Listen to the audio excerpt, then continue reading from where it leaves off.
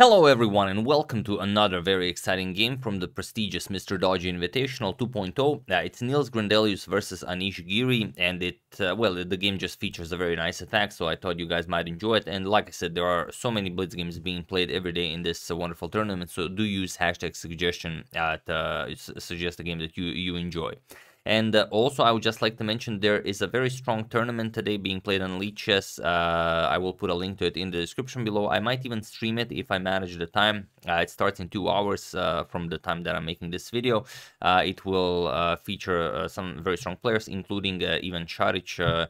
Um, uh, to, uh, he was the 2019 European champion. He was the world youth cha youth champion. He was the world junior champion. He's the uh, two times Croatian champion. So uh, you might get a chance to play against him if uh, if if you guys have time. Do join us.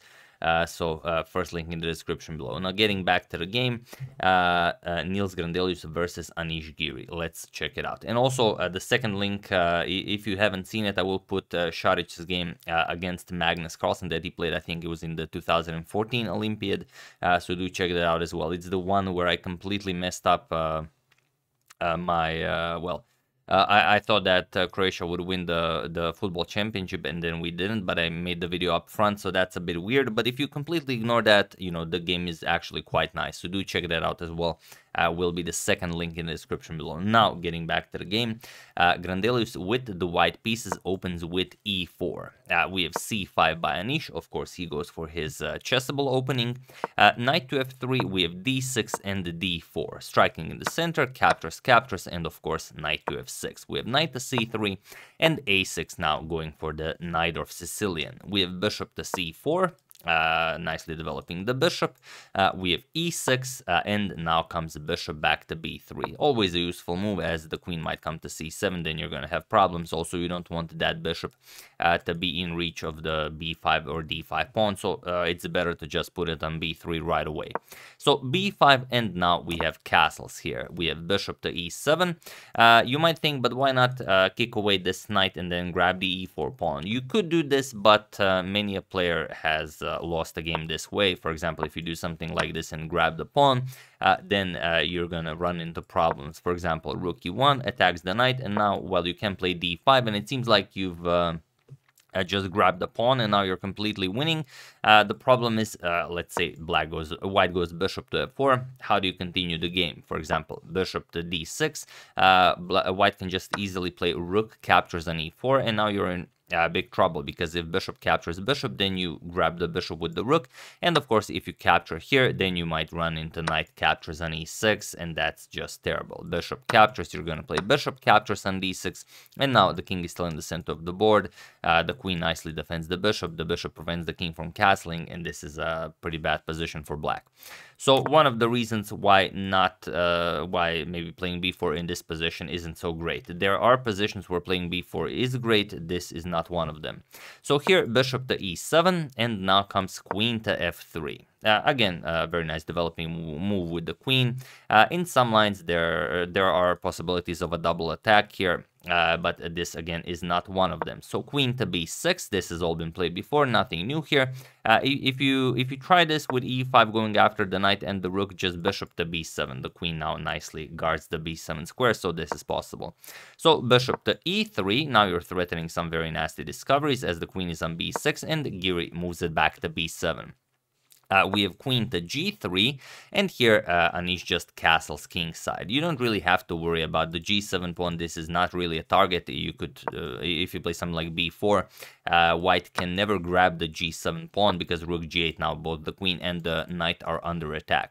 So instead, after this queen to g3, we have castles by Anish, uh, and uh, Grandelius immediately jumps into the attack. So here, bishop to h6, now threatening to checkmate Anish with queen captures and g7, uh, but Anish just defends it, knight to e8. We have rook f to e1, now adding a defender here, preparing to bring the other rook to d1, uh, that will complete your development, uh, and then you can uh, decide what to do from then, then on. And then now comes b4, so attacking the knight here, uh, and here, uh, interesting uh, fact is that this position has been reached before. And in both of those games, knight to d5 was played. And knight to d5 is the absolute strongest move here for white. And this is probably what Giri was prepared for Uh, even though it's uh, it's very hard to play this with black when white plays uh, knight to d5.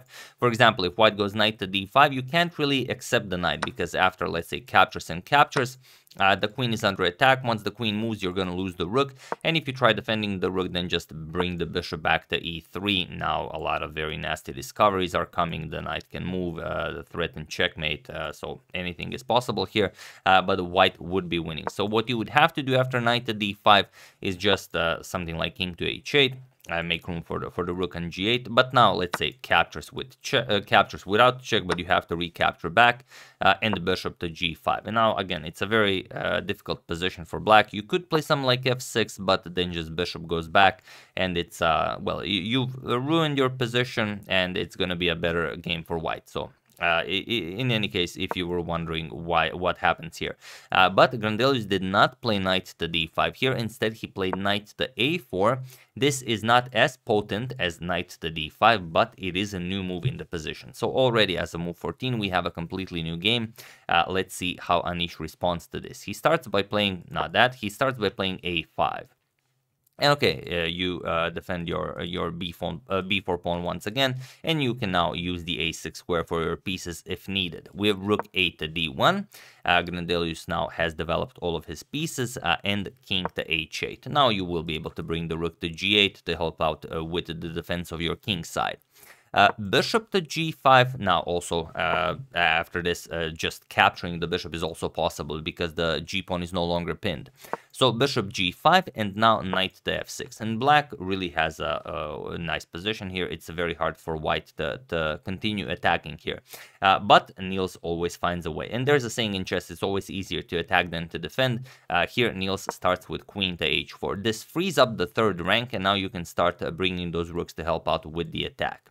Uh, we have knight to c6, Anish just continues development, uh, and now knight captures on c6. We have queen captures, and of course rook to d3. Now preparing to bring this rook into the attack, and now what do you play here?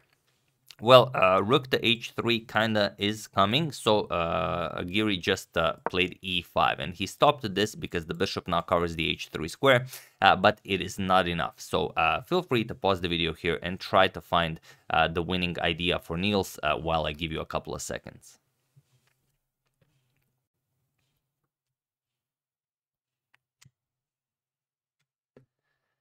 So uh, for those of you who were able to do it, congratulations on spotting this incredible idea. And for those of you who just want to enjoy the show, it's rook captures on d6. I'm, I'm only kidding. No, it's not. That would be crazy. The, the correct move is rook to f3 and it's uh, wow I, I, know you're thinking but what does this move even do well it adds a third attacker here to the f6 knight and there's not uh, all that much you can do here uh, problem is if you try something like bishop to e6 to maybe uh, maybe counter this light square bishop here, uh, the the real threat is just rook captures on f6. That's the problem. And after everything is traded here, captures, captures, and captures, you will not be able to capture back because if you do, then queen captures with check, and now a second rook lift wins the game uh, rook to g3 is coming. There's no defense against that. Uh, you might try to prolong it a little bit with some like bishop to g4. We're just going to attack it. Let's say queen captures, defends it. Uh, but now h3 again just wins the game. There, there's no way for black to hold this. If you play h5, we're just going to play h captures. And now after captures, well, uh, just queen g5 check, for example, king moves and now uh, rook captures, attacks the queen, also threatens checkmate with rook to h4, so uh, completely winning for white. So it's a, a really difficult position to defend for black. Uh, Anish finds the uh, the most resilient idea, and that is rook to g8. So now, what do you play here? Problem is, if you continue with the same idea that we've uh, discussed, for example, rook captures, bishop captures, and bishop captures, now black will be able to capture it because after queen captures, rook can block with rook to g7. Uh, that's the idea of rook to g8. And if you try a second rook lift uh, with the idea of doubling up here, it's not a problem. Just bishop moves, and then the other rook will also help out with the defense. So just rook g3, uh, black goes rook to g8, and Anish can uh, defend this. however, after this uh, rook to g8 move, uh, of course, Grandelius played the strongest move possible. He played bishop captures on f7, now attacks the rook here, and now uh, Anish, uh, well, uh, there are some moves that prolong the game, like rook to f8, but Anish grabbed the knight, hoping for the best. But now, once again, uh, for the second time and the last time in this video, feel free to pause the video and win this game for Nils while I give you a couple of seconds.